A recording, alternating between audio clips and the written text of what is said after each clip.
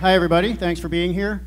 Uh, Yahoo Finance is live streaming this as we're watching it, so people out in the internet world uh, are watching as well. Uh, let me introduce the two panelists we have here to talk about conscious capitalism. Brittany Underwood is founder and CEO of the Akola Project. If you don't know what that is, you're about to learn. Next to her, Kip Tindell, uh, co founder and now chairman of the Container Store. Most of you have probably been there during disorganized moments of your life to get it all straightened out. Uh, I'm going to ask each of them just to talk just briefly about um, your company um, and what is conscious capitalism. How do you put this into practice? Brittany, go ahead. Um, so at Akola, we operate a social business, which is sort of a millennial variation of conscious capitalism, what Kip and his friend John Mackey, and um, who's the CEO of Whole Foods, and started Whole Foods, and that whole group began. Um, a social business is an enterprise that seeks to empower disadvantaged communities through kind of business solutions. Um, and we do that at Akola through producing products that sell um, across the country in an elevated marketplace to give women opportunity um, both in East Africa and locally in Dallas. And so we have a jewelry company that actually um, has retailed in 450 stores nationwide. Um, all of our profits are reinvested in our social mission to empower women who can't get opportunity but need desperately to provide for their families. And what's neat about that um, is we've been able to create a pretty robust, holistic development model um, that has a deep kind of participatory as well impact on women in poverty, um, as well as a product that has been able to retail I guess now in the luxury space. We're the first full impact brand to launch in the luxury space through Neiman Marcus this fall. Um, our products are in every store nationwide, thanks to Kip's friend Karen Katz, um, the CEO of Neiman Marcus. And we are just a company that's excited to continue to drive the social business movement for millennials and continue to explore how we can use, again, the best of business to solve world problems. Brittany, what are the products? Products? Jewelry. So we mainly have jewelry and accessories. So I'm wearing one of our Neiman Marcus pieces right now that is actually um, raw materials are handcrafted by the women in our program in Uganda, and it's finished in one of our centers in Dallas, Texas, that employs women in urban poverty. And you are a corporation, but you are structured as a nonprofit corporation, is that right? Yeah, actually, we have the same organizational structure as Goodwill. So we're a nonprofit with a mission related enterprise. So we have a profitable business that's run through a nonprofit framework, but we're able to do that because our social mission aligns with our profits. Okay, Kip, uh, you probably don't have to describe to people what the container store is, but talk about your recent history. You went public uh, a couple of years ago. Uh, there different types of strains placed, uh, or demands, I guess you could say, placed on public companies. How can you be uh, a conscious capitalist when you have Wall Street analysts and shareholders breathing down your neck all the time? Microphone. Kip, I think you need the microphone. I'm used to a lavalier, sorry. um, please redouble your efforts and thank you. We, uh, um, you know, we're a little bit different than Brittany's marvelous company and that we're, um, you know, we're, we're kind of a, a, traditional retailer, but we choose to behave um, in, in, sort of a conscious capitalist servant leadership type model where we, where we basically um, um, don't just look at the shareholder, but we actually uh, try to optimize uh, all of the stakeholders, the shareholder, the employee, the, uh, the vendor, the community, um, and you know, we, we, we've really discovered that when you're when you're your banker's favorite customer, when you're your vendor's uh, favorite customer, uh, uh, being successful is easier when you're everybody's favorite uh, darling, cute customer or little store or whatever than it is when they're laying awake at night trying to figure out how to get back at you. And so it's um, uh, public company, of course. Uh, we, we have Darden is here and other uh, we, have had the academic community kind of track those companies which are most conscious capitalists like Southwest Airlines, Whole Foods, the Container Store, Google. Um, uh, there's lots and lots of examples. And those companies uh, are not just doing it to be um, uh, socially mindful, uh, it's actually a profit enterprise. And so it's a profit strategy. Uh, the most conscious capitalist companies on Wall Street have outperformed the S&P index 14 to 1 over the last um, over the last 15 years. And what we're discovering is that people are no longer skeptical that actually um, business does not have to be a zero-sum game. I'm, I'm good friends with the, the, uh, the founder of, of uh, Southwest Airlines, Herb Kelleher, and he told me about 35 years ago, Kip, you can build a better business on love than you can fear. And I thought, who in the heck is this guy? You know, talking about love and business and everything. But of course you can. Your employees never leave. They wake up, they look forward to coming to work in the morning. Um, um, someone once said that a, an employee, the first 25% of their productivity is mandatory. They have to do that or they'll get fired. But the next 75% of any employee anywhere's productivity is, is optional. They only do that depending on how much they love their boss and their product and their culture and that type of thing. So it really is a profit strategy. It enriches your life and the lives of the people that you do business with, but it also makes more money than, than, than doing it the other way. So the old top-down militaristic uh, uh, thing is not attracting the best talent anymore. Uh, uh, customers or even even us baby boomers are starting to vote with our pocketbook a little bit. So it's both delightful and it's and it's profitable and uh, what I watch people like Brittany kind of take that and then form an organization like hers, uh, it's pretty great stuff. You can change the, the world and the world of business simultaneously. In fact, you can change the world more through by changing business than you can through just by focusing solely on non nonprofit. Uh, and you can find more about uh, both of these um, panelists in your uh, on the website, or just do a web search for both of them. You'll find lots of information about them.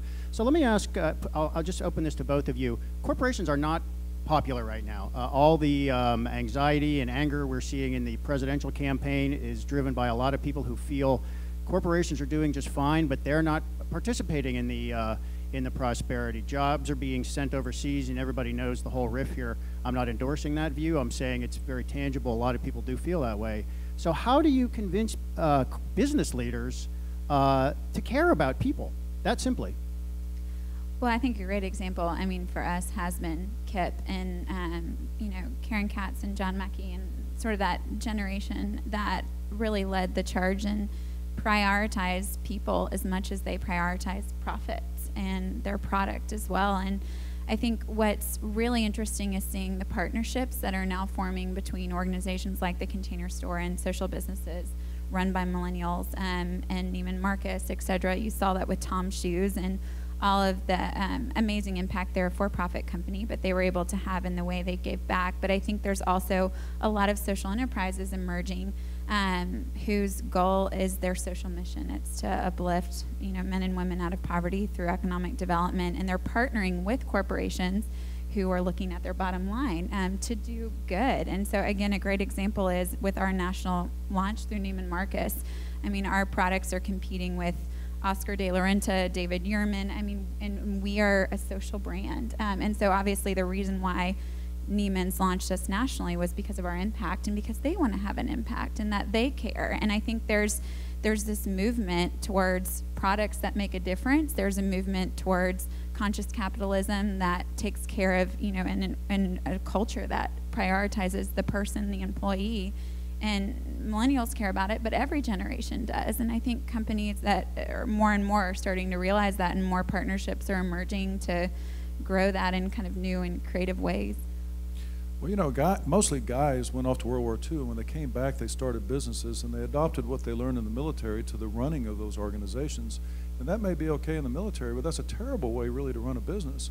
And so, what's changing is the kind of not top-down militaristic style of, of, of running a business, uh, uh, servant leadership, which is pretty much what it sounds like, conscious capitalism, and those are the those are the companies that are beginning to dominate their niches, and the ones that kind of refuse to change are beginning to kind of diminish and not dominate their their, their niches, and it's a you know it's a it's a great thing because business is just so much more gigantic than nonprofit. I mean, Kip, would you give us a couple examples where you see that happening? Well, I, I mentioned uh, Southwest Airlines, who I think's done, you know, uh, uh, probably better over over the years than than anybody in, uh, uh, you know, in the, in the airline uh, industry.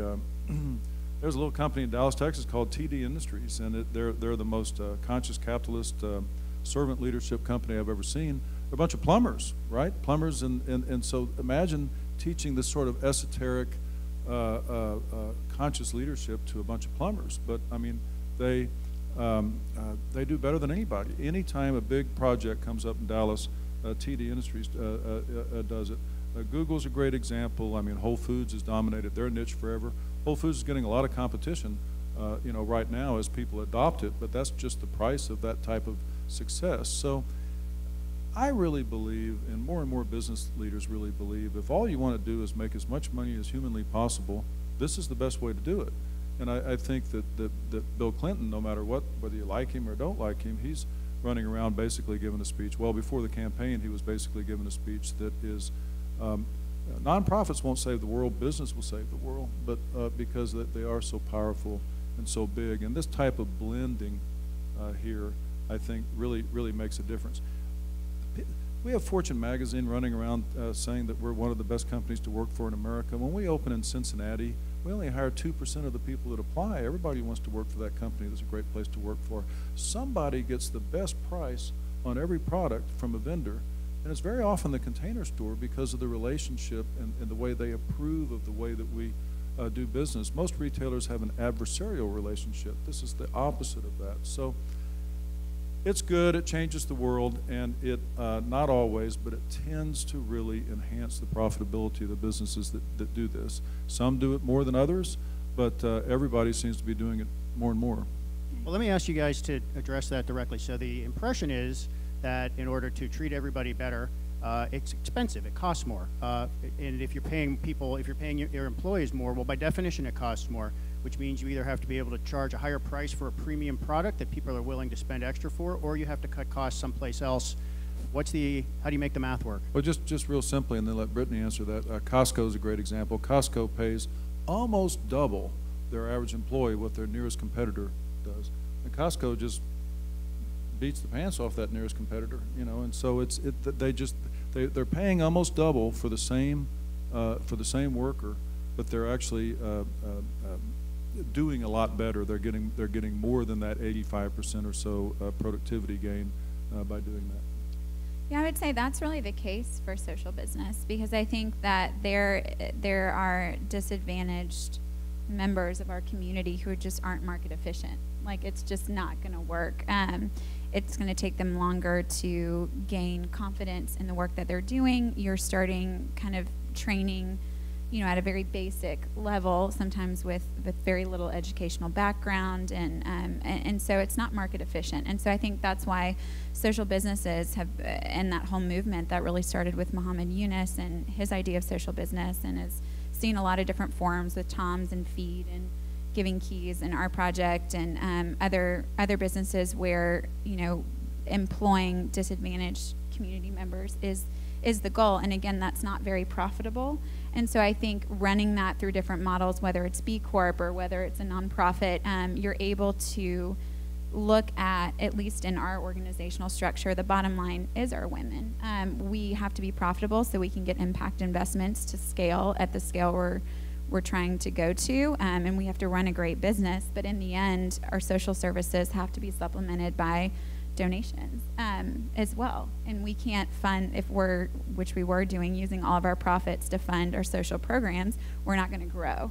So there's this kind of hybrid approach that's needed, and I think that's what's happening. Um, and you're seeing, again, more and more millennials kind of gravitate towards that is um, using business models to solve problems and, and kind of combining the best of nonprofit with the best of business solutions to um, to kind of tackle some of these challenges. And then in partnership with places like the Container Store and Neiman Marcus, Whole Foods has a lot of these partnerships, um, having kind of the retailer that whose bottom line is their profits carry your product line so you can help more people. In case anybody's wondering if you can work for Brittany's company, I asked her this and she told me um, well, yes, you could work for us if you were a woman and you lived in a disadvantaged area. So I can't, but maybe some of you. you could be on staff, but you couldn't be. you couldn't. We uh, we will take questions from the audience in a couple minutes if you have one. So think one up, make it a good one. Um, I want to ask you guys both about what happens as you grow. Um, Kip, your company went public a couple years ago. Uh, you've struggled as a public company. Your stock is down, um, but you had to. You needed the capital because you were growing. Um, Brittany, you are you're growing, you may need capital at some point. How do you, you may have to get that, maybe you're already getting it from lenders who aren't going to loan it to you at 2%. They're going to want something better than that. So how do you work it out when you need capital and you need to promise a good return back? Well, there's been a lot of great conscious capitalist companies that are public. Uh, uh, we were talking beforehand. Uh, uh, uh, being public has its charms. Uh, working with private equity people have their charms. Uh, I detect sarcasm in that. we- Maybe we, I'm the we only actually one. get uh, we actually get both of those. And our stock, we came out at eighteen dollars at the IPO. It doubled, went to thirty-six dollars. It went to forty-eight dollars, at which time it was over two hundred times PE ratio. Uh, it's it's still a very high PE, PE ratio, but it's uh, Jim Sinegal, who the Costco guy I alluded to earlier, said, "Kip, every great company three or four times a decade has their stock fall down more than half." And so um, that um, I've, I've been the darling of Wall Street and the dunce of Wall Street. It's more fun to be the darling, but um, you know we, we believe that actually um, uh, we've never felt better about the, the future of our business. Uh, we we practice conscious capitalism, not quarterly capitalism, and uh, many of the things that we do at the Container Store uh, are, are rather long-term uh, oriented. And uh, Brittany, I'll get to you in a sec, but I just want to follow up on that. Um, are analysts buying it? Um, are you convincing them to think about you differently than they might think about other companies? And are you be able to push back against whatever pressure they may be putting on you to cut costs and do other things like that? You know, when a, when a public company CEO says it's conscious capitalism, not quarterly capitalism, uh, you're still doing things, you know, you have an obligation to that shorter term shareholder as well. I mean, you're, you're spending a lot of time talking about medium and long term shareholding, and I really think that the short termism on Wall Street is a real problem, and there's a lot of people trying to uh, do something about that. I mean, a long term capital gain is one year. How about five years? How about 10 years?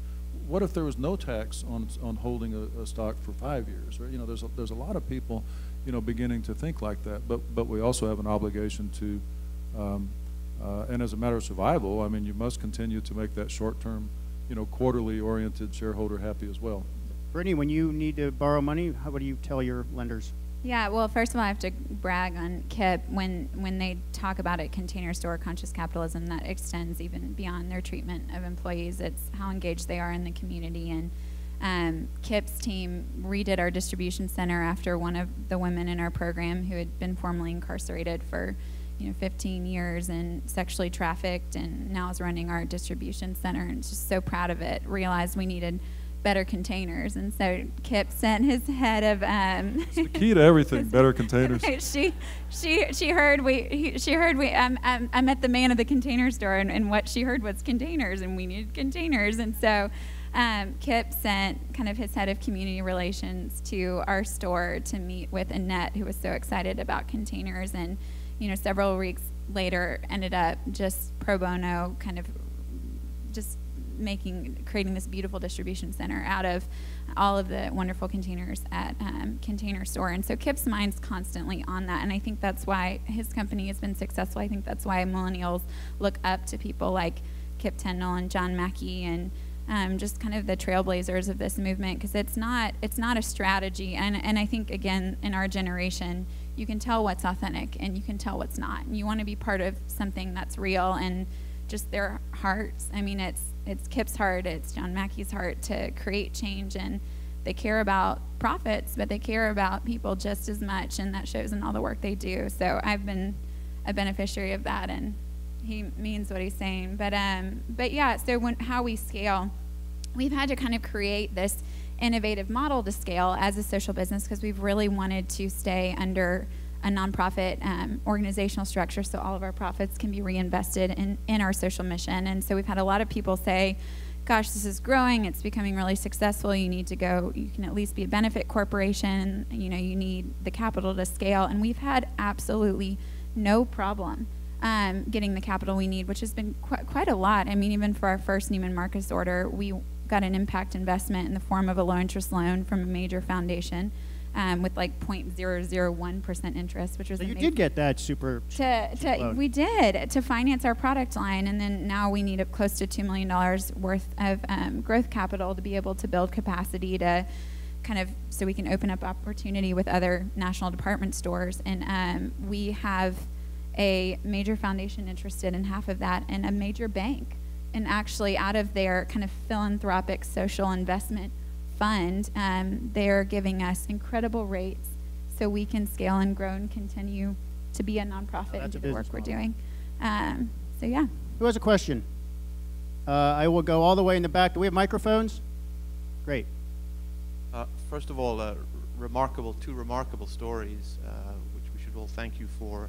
Uh, my question Thank is, you. how do you, as founders and CEOs of of uh, commercial enterprises, but perhaps with a with a social um, purpose to them, prioritize the CEO decision making when you have to make a decision among your stakeholders, and the stakeholders could include your shareholders, your employees, your customers, and there could be a decision that would be adverse to one versus the other. That's a good question. Um, so I'm going to take a question over here next. If we could move the microphone over, right there, third row, I think. Go ahead, Kip. You expect us to be able to remember two at once? Yes, I do. Well, it's, it's, um, uh, Ed Freeman at, at Darden uh, School of Business uh, is often thought of as the, the father of the stakeholder model. And he's, he's one of these renaissance men that he, he's a great chef, he's a, he's a master musician, you know, he's a black belt in karate or something like that. I mean, he, he can do anything well, but he uses the word harmonize the stakeholders. You know, you're, I, I used to say balance. He corrected me on that. Or optimize. No, it's harmonize. This one might be a little lower in this arena. That one's a little higher there. So you get the privilege as management to try to harmonize all of that. It's it's wonderful to have vendors love you. It's it's fabulous to have employees love you. It's nice to have your bankers and lawyers love you. You know. And so how do you how do you optimize the win-win and the win-win-wins? And it's it's it's highly situational. I think you just said put the bankers and lawyers last. yeah, well, well, that's pretty cool if even the bankers and lawyers kind of get into your, you know. So, but um, uh, the, you, you don't have to treat everybody the same to be equal. There's certain things that employees need. Uh, shareholders kind of get paid last, so we try to make sure that they that we remember that because you know the employee's getting paid no matter what. There's time. It's um, it's it's a Rubik cube uh, type thing, but you know they can tell when you're knocking yourself out trying to optimize all of that simultaneously. And I think it's more fun than anything else in business, and it generally uh, results in a higher profitability than just kind of being, uh, you know, unilaterally focused on on one or the other. You want to go out of that or go to the next question? can go to the next one. That's a Go great. ahead, I don't know right if I can beat that. I was trying to keep it, my question in my head. um, first of all, um, great message you have. And I like that you just said um, putting shareholders last. Is that what you No, said? they get they get paid last. So if you remember that, Right. that that means that when you do pay them, you want to pay them very very well because they patiently allowed the vendor and the employee and everybody else to get paid first. Right. So now we need to take care of them too very well. Most companies, I think, think they get paid first. But anyway, um, but my question is in this vein, kind of related to what that gentleman said. One is, as a mother, a baby boomer mother of a millennial, she got that from somebody who cares about social responsibility. So it has been around for a long time. Um, and it's great to see all of this really coming, becoming more mainstream. But I'm curious how, Kip, you and, and both of you can, should weigh in, or would, I hope, how you balance kind of return on investment with um, tracking. How do you draw a direct correlation between what you're doing and sales or uh, revenue? Do you have data that you use to show your shareholders? Do you see where I'm going with that? Yeah, Brittany, why don't you field that?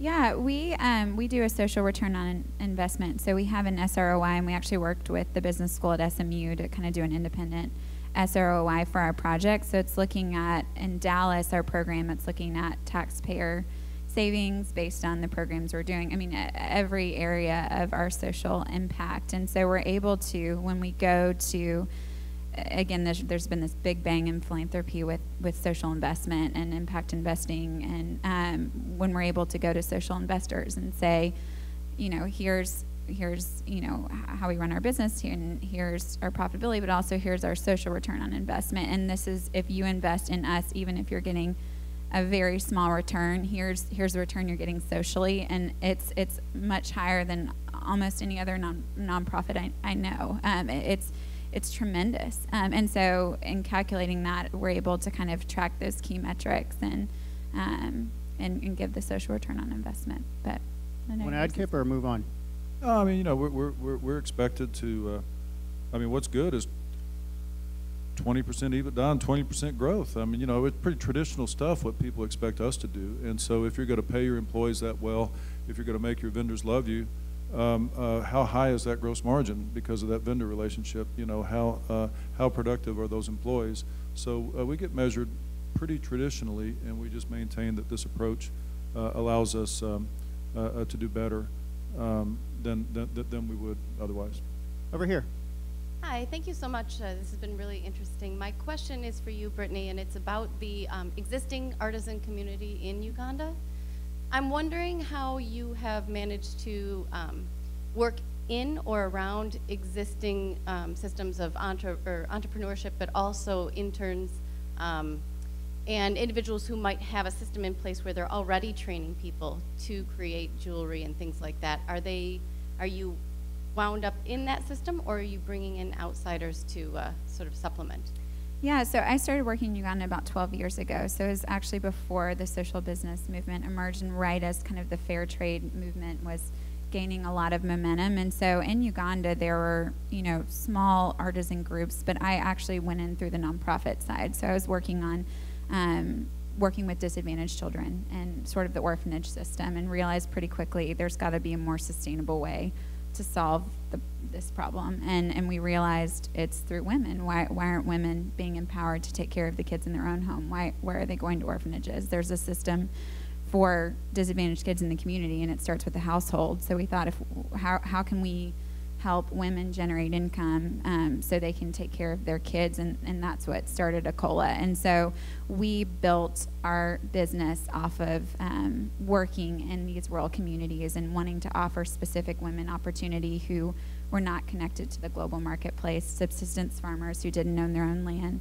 HIV positive, highly marginalized, not artisans, and, and very little educational background. So we actually trained them to make products that sold in the global marketplace. And um, we're able to build our own facilities and own our entire manufacturing process, everything from hand carving Ankole cow horn to, you know, making, hand making beads, casting, and um, assembling products and jewelry. And so we, um, we've actually been able to work with a lot of great artisan groups in other countries by sourcing some raw materials that we can't produce through our women in our program. And so we work outside of Kibera slum in Kenya and source some of our bone from there. We work in Ghana with the glass that's even incorporated in our Neiman Marcus jewelry collection. And our real goal is for every raw material, much less the assembly, to have an impact, right? Um, and then we we give women a, a living wage through our um, assembly programs as they make the jewelry. It's $15 an hour in Dallas, um, which is really great, and that helps them move out of poverty, and then our distribution centers even run as a second chance job program. So we've tried to build this model where it's integrating um, different artisan groups that already exist in, in different parts of all around the continent of Africa, um, but also building our own um, systems for creating a full impact and fully ethical supply chain. We're almost out of time. I want to ask both of you um, about starting a business these days. So a lot of people want to start a business they find it daunting, though. You, they think they have to be based in Silicon Valley and get a million dollars in venture funding. Uh, they hear about all these onerous licensing re restrictions and how all these rules and regulations just strangle businesses these days. So if you're thinking specifically about young people, millennials, which we've mentioned, what are the most tangible tips, one or two or three, you could offer somebody who wants to start a business? you know much more about this than I do. I'm only 12 years in. Um, I guess my tips are, especially in this kind of work, is um, just not letting failure stop you. I mean, we've failed, especially operating um, when I was working sort of in that orphanage model. Just made a lot of mistakes and probably did more harm than help for the first five years I was living in Uganda. And um, my my greatest encouragement is to not give up when you make mistakes and you fail, but kind of learn from them and actually create a better model, a better business. What kept you going when you failed? I, I think sheer perseverance and the fact that I knew these women, I, I lived next to them, I knew their families, and I knew the consequences of giving up, and that um, that helped me persevere. Is just my passion for those communities and so I would say perseverance and ability to kind of learn from failure, not be afraid of it, um, and just determination, just to overcome. Kip, how do you start a business these days? Well, um, you know, we did it uh, with a whopping thirty-five thousand dollars in capital and started small, one tiny little sixteen hundred square foot store in Dallas, Texas. Um, um, and then we just kept conservatively growing it and growing it and growing it. And, um, you know, you, um, I think being an entrepreneur is so great. I mean, I, I think uh, some wise person once said, blur the distinction between work and play. When, when Claude Monet was painting the water lilies, was he working or playing? He was doing what he wanted to do. And so, you know, you're able to get really good at something because it's about all you do. Your friends find you kind of one-dimensional, you know. But um, I I think it's uh, it's good to think about that fact that uh, you know your your vendors become your vacation mates, and you create the world's best shoebox while you're on you know vacation, and and that's not working. That's that's blurring the distinction between work and play, and it is a lot, a lot like Monet painting those water lilies, and and so I, I also did it with my wife Sharon Tindell, who's the chief merchant of the company. So we've been able to do this together. Now, real quickly, I just stepped down a couple of months ago as chairman and CEO. I'm, I'm, I'm chairman, I'm no longer CEO after all these years. And my dear friend and colleague, Melissa Reiff, who's our president, um, and she's always wanted to be CEO, and she's only a year younger than me, so I'm going to wait till she's 100 to let her be CEO. And, and so she really wants to do that. And so I, I'm not bragging, but I probably have worked like 14 or 15 hours a day for 38 years building the container store. And now I'm expected to work like 15 hours a week. And what I've discovered is I don't care how much you love your work, 15 hours a week beats the heck out of 15 hours a day. So- and you still get to do the fun stuff like this. Great stuff. Thanks to both the panelists, and thank you for the good questions.